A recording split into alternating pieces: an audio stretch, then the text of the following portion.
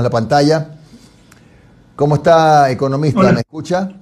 Sí, te escucho bien, Jimmy. Un abrazo a ti, al compañero que está contigo en la radio y un muy especial abrazo a Omar Jaén. me contaron lo que está pasando con su hijita prematura, ¿no? Dios nos bendiga, que todo sea suerte, que todo salga con bien. Estamos compartiendo con Noris Arroyave, periodista profesional, y vamos a comenzar entonces esta conversación con el tema que nos ocupa a todos hoy día, la inseguridad. Más allá que ya, hay diagnóstico, sí me gustaría conocer de usted, expresidente de la República, por qué cree que las cosas están como están hoy, que no se deben exclusivamente a la delincuencia organizada y al narcotráfico. Hay otro tipo de delincuencia que también está azotando a la gente en las calles del país. Es evidente, Jimmy, no se puede tapar el sol con un dedo destrozaron todo estos últimos cinco años. Destrozaron toda la institucionalidad de seguridad. El Ministerio de Seguridad lo eliminaron. Dijeron que era burocracia. Muchos de los que hoy se quedan aplaudieron. Cuando era, si hay un área donde hay que coordinar, es seguridad. Porque seguridad es un conjunto de esfuerzos. Policía, pero inteligencia también. Eh, incluso el Ministerio de Educación. ¿Por qué creen que estaban calmados los presos en las cárceles? Porque teníamos un verdadero programa de rehabilitación social y podían hacer hasta universidad pues, en las cárceles. Entonces, en lugar de estar preocupados en matarse los unos a los otros, estaban preocupados de obtener un título universitario. Todo fue destruido. Agrégale eso. No es la falta de recursos, por ahí no van las cosas. Sí, claro, siempre se necesitan recursos, pero tienen recursos inutilizados. No es cuestión de leyes, eso es cortina de humo. Apruébenle, ojalá mañana mismo la aprueben la ley al presidente Lazo. Verás que no va a resolver absolutamente nada. De hecho, muchos son cambios cosméticos y cosas como la Secretaría de Política Criminal, el Consejo de Política Criminal, lo puede hacer vía decreto. Eso es lo que teníamos con el Ministerio de Seguridad, con el Gabinete de Seguridad, pero no quieren reconocer que destrozaron todo. Entonces no es solo la pérdida de la institucionalidad, sino la falta de acción. Tenemos prácticamente acefalía a nivel de gobierno. O sea, el presidente Lazo va muy lento y ya no se le puede exigir más. Yo te pongo un ejemplo, que algunas veces son más decidores que, que cifras, que te las puedo dar. Por ejemplo, yo me reunía por lo menos una vez por mes en Guayaquil los martes la ciudad con mayor cantidad de problemas, para ver las cifras de seguridad, lo informaba después en la sabatina. El Consejo de Seguridad se reunía cada 15 días. Un pequeño comité de seguridad se reunía cada lunes, 6 de la mañana, para preparar toda la agenda de seguridad de la semana. Y les puedo nombrar muchos más ejemplos de todo lo que hacíamos, dentro de una visión integral de seguridad. Pero sobre todo, no paramos un instante. No sé si tú conociste la presidencia, había un salón protocolario donde yo recibía al Papa, a los presidentes, la foto con mueble eh, Luis XV, pero que no servía pues para trabajar. Y al lado tenía una oficina absolutamente moderna, funcional, con alta tecnología, con salón de reuniones, pantallas, cámaras para seguir las, ah, las eh, obras, comunicaciones. Pues ya no existe esa oficina. Despachan del salón protocolario, el que yo utilizaba para tomarme la foto. Ese es el nivel, esa es la diferencia en el nivel de actividad que existe. Y con esa con ese nivel de actividad, mientras la delincuencia va a velocidad de Fórmula 1 y el gobierno va a velocidad de tortuga reumática, no se podrá controlar tampoco la inseguridad. Economista, mucho se ha hablado en los últimos tiempos y lo, ha dicho usted también, aparte de asambleístas de UNES, que fue un error la eliminación del Ministerio de Justicia. ¿Por qué fue un error y de qué serviría en un momento como este, cuando la delincuencia está desatada, volver a un ministerio como el de justicia. No fue un error, fue un horror, y parte de una destrucción integral. Como te decía, destruyeron un ministerio coordinador de seguridad, porque la labor de seguridad es coordinada, es integral. Pero destruyeron un ministerio del interior, lo volvieron a hacer todólogo para darle poder a esta mujer de falta, Marapala Roma, para que nos persiguiera, dicho sea de paso. ¿ya? Pero el Ministerio del Interior se dedicaba solo a la policía, era un ministerio de policía, para seguridad ciudadana que controlaba con un tablero de control todos los delitos por subcircuito, ni siquiera por circuito. El oficial a cargo para ascender tenía que demostrar que bajaba la delincuencia en su, circuito. Era una visión comunitaria y policía con las VC, los UPC, que se le dejaron planificadas, se hicieron cientos, pero faltaban cientos todavía, y es, una visión de policía comunitaria, porque esto no es una lucha solo de la policía, es los gobiernos locales, los barrios. Entonces, te reúnes con el barrio y ellos saben quién está vendiendo drogas, quién es el jefe de la pandilla, etc. Todo todo lo destruyeron. Y volvieron al Ministerio de Gobierno para darle poder a esta mujer, pero el Ministerio de Justicia era uno de los que había captado esa función del Ministerio de Gobierno. O sea, antes el Ministerio de Gobierno era de rehabilitación social, cultos, de gobiernos autónomos descentralizados, eh, para el contacto con los asambleístas. Pusimos la parte política en la Secretaría de la Política, pusimos la parte de derechos humanos, cultos, rehabilitación social en la parte del Ministerio de Justicia y dejamos el Ministerio de Interior solo como Ministerio de Seguridad y Policía. Lo volvieron al pasado para hacerle daño a Correa. Era un poder a María Paula Romo, que era una mujer brillante para la maldad, pero absolutamente inepta para la gestión. De lo que menos se eh, preocupó fue la seguridad ciudadana y aquí están las consecuencias. Porque un Ministerio de Justicia, de hecho, se pasó la tendencia mundial. Nos felicitaron a nivel mundial para de ese ministerio. Éramos ejemplos en rehabilitación social.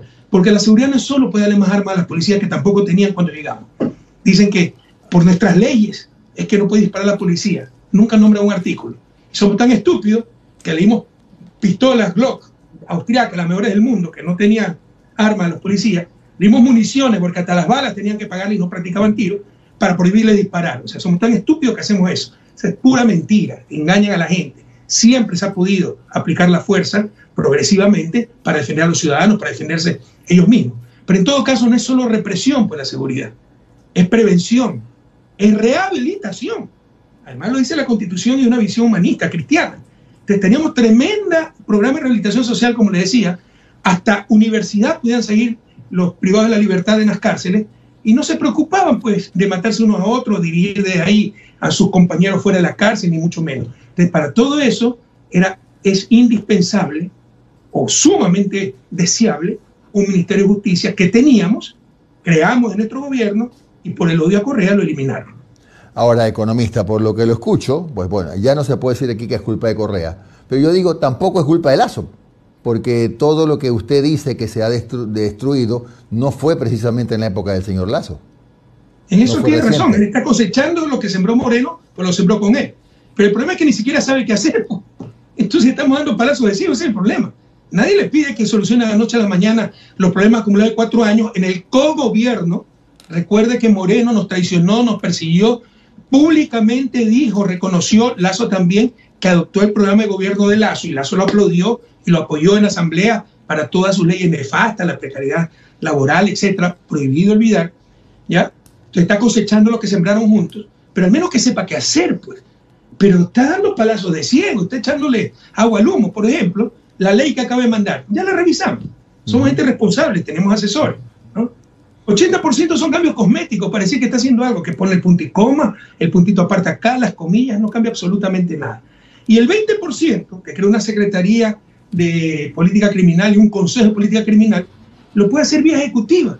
Ese era el Ministerio Coordinador de Seguridad y el Consejo de Seguridad. Pero por no reconocer, por soberbia, todo el daño que hicieron, lo pasan a través de ley que va a demorar mucho más y va a tener mucho menos alcance.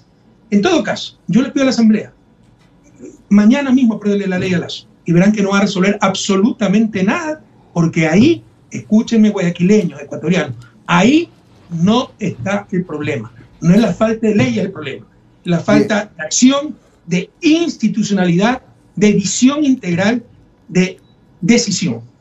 Ya hay un diagnóstico. La pregunta es, si usted tuviera a la mano la opción de hacer algún cambio importante en este escenario actual, ¿no? cuando tenemos eh, el, narcotráfico internacional eh, operando en los, sobre todo en las ciudades portuarias, cuando tenemos casos de sicariato, ayer, economista Correa, seis casos de sicariato nada más en Guayaquil. En este escenario ciertamente turbulento, ¿se puede pensar en soluciones que nos saquen de esta crisis?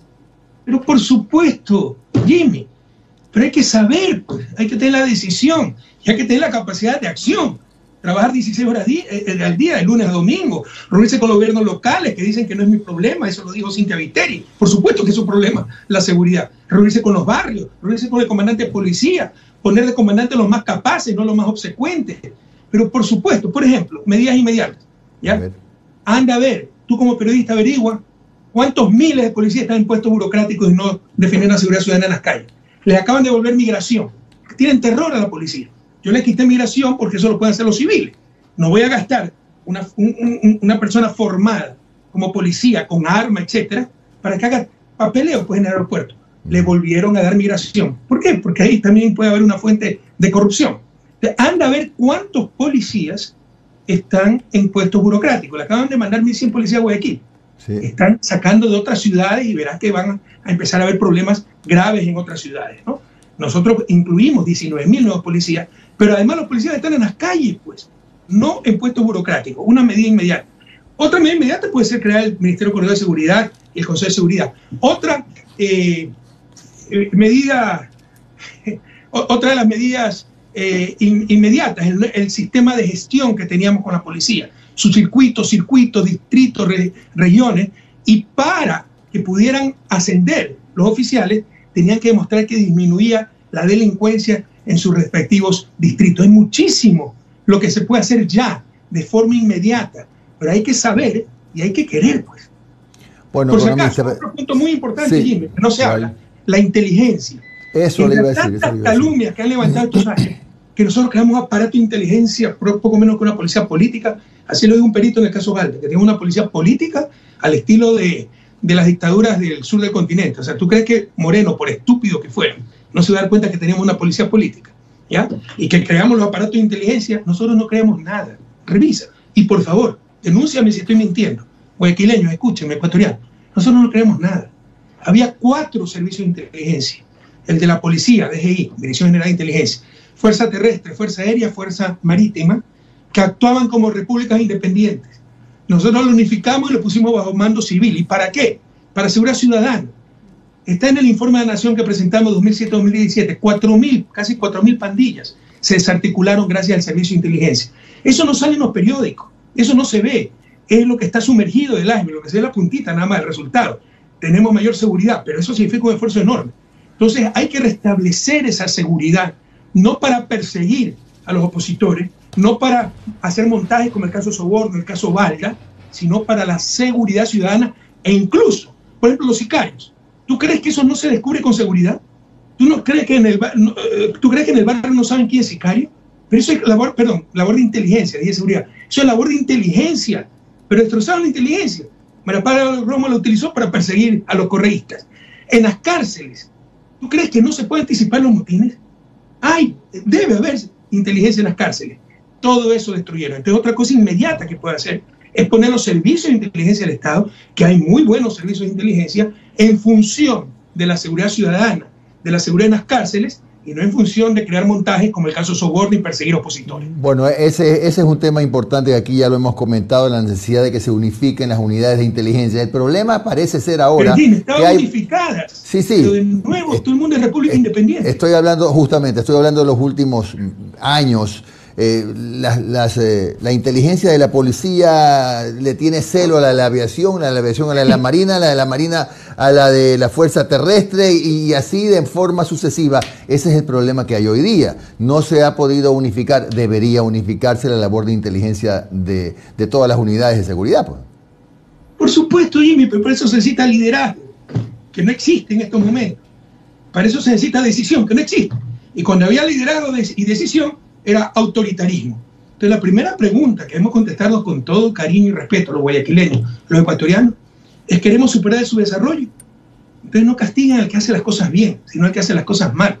Por supuesto que se necesita liderazgo, se necesita decisión para arreglar el desorden en, que encontramos el país en el 2007, en que han vuelto a convertir el país. Y tú has dado un buen ejemplo de eso. Cada quien se cree república independiente, a los policías, a los militares, todo presidente le tiene terror, yo no les tuve, y nadie los toca. Pero es necesario que esos servicios de inteligencia actúen coordinadamente para la seguridad ciudadana, no para los fines institucionales o peor aún para fines políticos.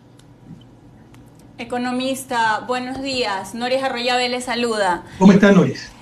Eh, economista, el presidente Lazo ha dicho que en reiteradas ocasiones que en las calles del Ecuador hay un solo enemigo y que es el narcotráfico. ¿Realmente usted como expresidente considera que el, el, enemigo que existe en este momento es solo el narcotráfico y la delincuencia organizada? Porque la delincuencia común en este país, en este momento, también se está convirtiendo en extremadamente violenta. ¿Cuál es su análisis en torno a, estas declaraciones que son constantes del gobierno? No, usted ha dado la respuesta. Pero sí es evidente, eso necesita ser, no se necesita ser experto en inteligencia no se necesita ser autoridad, no se necesita tener información privilegiada para deducir lo obvio. Estamos hablando de delincuencia común y corriente, no, de crimen organizado que lo hay, no era narcotráfico que lo hay, pero los sicariatos no necesariamente son fruto del narcotráfico. Entonces, e, es delincuencia común y corriente. Están buscando justificativos para no poder enfrentar o para justificar que no pueden enfrentar la delincuencia más común y silvestre. Y sobre el narcotráfico y la delincuencia organizada, lo que buscan es pretexto y la maldad, ¿no? Culpa de correo. O sea, nosotros, nosotros la tabla de consumo de drogas se aprobó en 2007, que es recomendación de la Organización Mundial de la Salud para no meter preso a los consumidores, que necesitan ir a un médico, no a la cárcel. La base de manda se sacó en el 2009 y resulta que en el 2022 estamos hechos pedazos por culpa de Correa. Y hay gente que cree eso. Entonces yo sí les digo a los guayaquileños, a los ecuatorianos, queremos salir de su desarrollo. Los que nos odian, yo sé que muchos nos quieren, a los que nos odian, venzan ese odio, no pierdan la racionalidad. Veamos claro, por nuestra familia, aquí te juego ya la seguridad de nuestra familia. Tenemos un problema sobre todo de delincuencia común, delincuencia que se puede enfrentar, por ejemplo, el sicariato es sobre todo labor de inteligencia, pero eso se puede reconstituir, pero no lo han hecho la delincuencia común, eh, y le hacía esta pregunta porque la delincuencia común, atrás de la delincuencia común está el desempleo, está eh, el problema incluso y, y todo lo que ha conllevado la pandemia y el haber estado encerrados, la crisis económica y cómo la está enfrentando el gobierno en este momento. Economista, también se hablaba del desmantelamiento de las instituciones que en el gobierno que usted presidió trabajaron de forma organizada y eh, comentaba eh, la creación y la posibilidad de que volver a crear ciertos ministerios pudieran ayudar en este combate, pero ¿Qué pasa si se crean estas instituciones, estos ministerios, pero quienes están a la cabeza no tienen el conocimiento adecuado, sobre todo en este tema que se necesita ser conocedor de política criminal? Eh, se ha hablado mucho del desempeño que está teniendo la ministra de Gobierno en este momento. ¿Qué, puede decir al respecto? Es un cúmulo de factores, que es lo que usted está insinuando, y estoy totalmente de acuerdo con usted, Nori. No solo es la destrucción institucional, ¿no? es, eh, por ejemplo, muy malos funcionarios. La incapacidad evidente de ciertos funcionarios. No se requiere ser experto en seguridad para hacer un buen trabajo, no tiene asesores. Pues se requiere decisión, se requiere capacidad de trabajo, se requiere eh, condolerse de la situación del país, se requiere conocer la situación del país. Y hay, perdónenme, hay funcionarios que están más perdidos que camarón en caldo de pasta, pues no. Por ejemplo, tenemos un gobernador que habla de que hay que iluminar mejor para que nos asalten con luz, o nos maten con luz, o es que hay que llamar a los Avengers. Entonces, con ese nivel de funcionarios tenga la mejor institucionalidad, no va a resolver absolutamente nada. La institucionalidad es necesaria, el Ministerio de Seguridad, el Ministerio de Justicia, pero obviamente igual de necesario son buenos, buenas autoridades al mando de esas instituciones. Economista, hay algo que no sé si entendí mal. Usted decía que casi todos los delitos, que tienen que ver con sicariato tienen a la vez relación con la delincuencia común. Pero pasan cosas como, por ejemplo, cada vez que la policía hace una redada, entonces lo entendí mal. Lo entendí mal. Sí, he dicho que mucho del sicariato no tiene que ver con narcotráfico. Ah, ya, porque podemos excluir que una parte sí tenga que ver. Sí, claro, porque por ejemplo, cada vez que la policía logra el hallazgo de desmantelar una banda y capturar al hijo de droga, al día siguiente, dos, tres días después, sicariato en cadena, ¿no? Este es un, este es un tema sumamente grave. Y, eso es, yo no sé, por eso le decía, yo no sé si, estando como está la situación, sin ánimo de ser pesimista, eh, hay tiempo todavía como para frenar este desborde. ¿Por qué? Porque ya hoy se, se especula que ya los jefes de las bandas de diferentes de, Jalisco Nueva Generación y qué sé yo, dos, tres bandas más, ya están afincados aquí, ya no es que ya no es que tienen sus satélites, ya están afincados en el Ecuador. Que ya en Colombia ya no exportan la droga, si, si ahora, ahora la exportan desde Ecuador. Entonces, está en una situación ciertamente grave. Mi pregunta es si solamente con estas medidas que usted dice son suficientes o tenemos que pedir ayuda de algún gobierno extranjero. No sé. Que vengan bases gringas nuevamente. Colombia, tú lo has dicho, ¿no? Eh, esa droga viene de Colombia y tiene siete bases gringas, pero es las tantas tonterías que, que mantienen ciertos grupos que hablan español pero piensan en inglés cuando piensan. Nadie ha dicho que es suficiente lo que te estoy diciendo. Se necesita una visión integral. No he dicho que el sicariato no tiene nada que ver con el narcotráfico. De hecho, gran parte tiene que ver con el narcotráfico, pero no todo. Además que cuántas muertes es por asalto, por el robo del carro, etc. Eso es delincuencia común y silvestre, ¿no? Pero los sicarios propiamente, gente que vive. yo he sido presidente de la República, conozco, eh, tengo información de los que, los que se les paga para que maten, la gente sabe quiénes son, dónde viven. Y eso se detecta con inteligencia. Pero mira la monstruosidad, pero esto es monstruosidad, hemos perdido nuestra capacidad de asombro, que dijo la comandante Varela, puesta por María Paula Romo, que ellos saben quiénes son los sicarios, lo dijeron, ellos saben. Y ya han cometido asesinato, pero no los pueden meter presos hasta que cometan otro crimen, dijo, es decir, otro asesinato. O sea, mira la barbaridad, es una monstruosidad. a la ministra, a la prefecta, Paola Pavón, por la protesta de octubre de 2019 la acusaron de rebelión, la allanaron la casa, la metieron presa y todavía tiene un brazalete humillante en el tobillo. Pero a los sicarios no se los pueden meter presos, no se les puede allanar la casa y hay que esperar que cometan otro crimen. Con autoridades así, no vamos ni para atrás ni para adelante. Por supuesto, esto es una política integral, pero con esa política integral, con inteligencia, con policía, actuando coordinadamente Fuerzas Armadas, Policía Nacional, ECU 911, Cancillería, para evitar la visa eh, que entra al país esa clase de gente, verás que esos mafiosos irán a ubicarse nuevamente no sé dónde, pero no estarán en Ecuador como no estuvieron durante mi gobierno. Economista, inevitablemente necesito consultarle un tema que tiene que ver con el manejo de la deuda externa, porque el presidente de la República viaja en los próximos días a la China y ha dicho que va a ser la gestión para procurar desvincular el petróleo eh, que está ciertamente comprometido, una, no sé cuántos millones, 150 millones de barriles, con la deuda. ¿Es posible separar esa deuda de alguna manera, renegociarla? Pero eso dijo. Sí, sí, sí, eso dijo. Eso dijo que tenemos que pagar todavía deuda con petróleo, porque hasta donde tengo entendido, a no ser de que sean nuevas. Hay un saldo de 150 millones de barriles de petróleo, más o menos es lo que he entendido. Por si acaso, eso es un año de producción nada más. Dijeron que estaba hasta el 2050 comprometido. Hasta donde sé, nuestras operaciones acababan en el 2020. Probablemente Moreno hizo nuevas operaciones y el mismo Lazo. Y en buena hora, pues que vaya a renegociar si obtiene mejores condiciones. Pero no es que China, nos hemos vuelto colonia china, no es que era terrible que los chinos estén en Ecuador y ahora va China a pedir que lo ayude.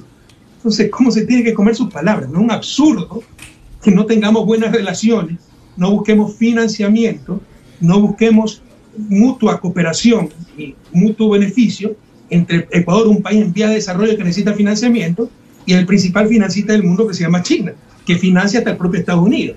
Por el contrario, nosotros eh, tenemos excedentes, exportamos hidrocarburos y el talón de Aquiles del gigante chino es la necesidad de energía y fundamentalmente hidrocarburos. Entonces es obvio que tenemos que entablar relaciones de mutuo beneficio como lo hicimos durante 10 años en mi gobierno, que fue ejemplo para toda la región. Así que en buena hora que, Lazo vaya a buscar eh, mejores relaciones con China, pero ojalá no le saquen las grabaciones, las tonterías que hablaba en campaña.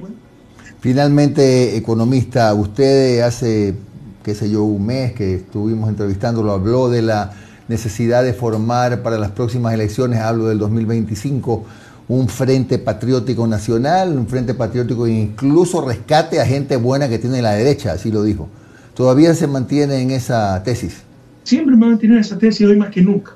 La situación del país no está para dogmatismo. Yo no soy parte de esos grupos que, eh, por ejemplo, con nombre y apellido, un Alberto Acosta era así, eran las grandes discusiones, ¿no? Si de derecha, así sea la madre Teresa Calcuta, era un mafioso. Y si es de izquierda, así sea el Monte de los Andes el Pablo, el Chapo Guzmán, era un santo.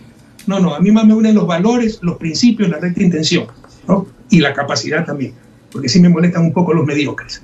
Entonces, con esa gente honesta, con amor de paz, capaz, siempre va a ser mucho más lo que me una que lo que menos nos separe. Y en la situación actual del país, el desastre es tal que se requiere la unión de toda la gente de buena voluntad, derecha, izquierda, arriba, abajo, para sacar adelante el país como ya lo hicimos en el 2007. Gracias al expresidente de la República, economista Rafael Correa, por su comparecencia en un café con JJ. Tenga usted un buen día, economista. Gracias. Y también un abrazo, Omar, por favor. ¿ah? Y muchas gracias a ti, a la radio, a Guayaquil, a la patria entera, un inmenso abrazo. Muy bien, son las 8 con 36.